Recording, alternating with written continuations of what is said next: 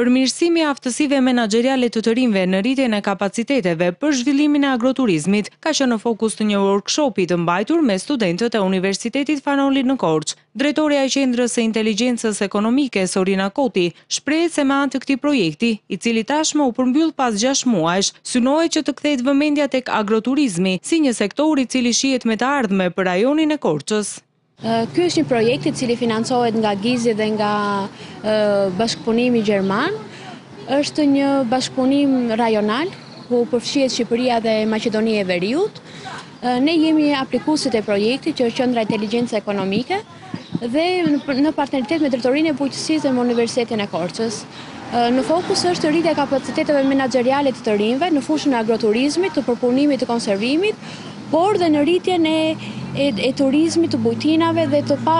dhe të pasjes në prioritet të zhvillimit turistik të rajonit të Korçës. Është një projekt i cili ka zgjatur gati 6 muaj,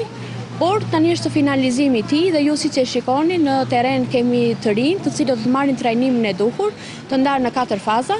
i cili do të ndihmojë ata që pasi të mbarojnë studimet e tyre të jenë një hap përpara në tregun e turizmit dhe të agrobiznesit në rajonin e Korçës. Koti shtoi më tej se rajoni i Korçës vitet e fundit ka pasur një zhvillim të kënaqshëm në fushën e turizmit dhe agrobiznesit, por nuk përjashtoi vështirësi që janë hasur në përpunimin dhe konservimin e produkteve bujqësore.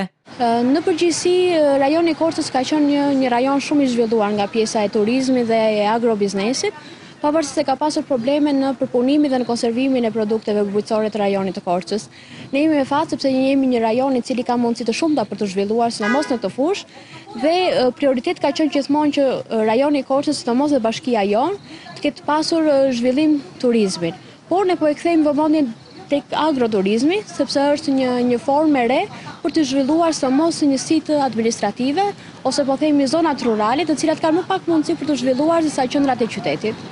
Kështu që kjo do të jetë një një formë që të gjithë ata të rinj, të cilët janë pothuajse nga të gjitha njësitë administrative të Korçës, të kenë mundësi për t'u rritur nga ana e tyre menaxheriale që nesër të kenë bizneset e tyre private. Takimi u ndoq me interes nga studentët e pranishëm.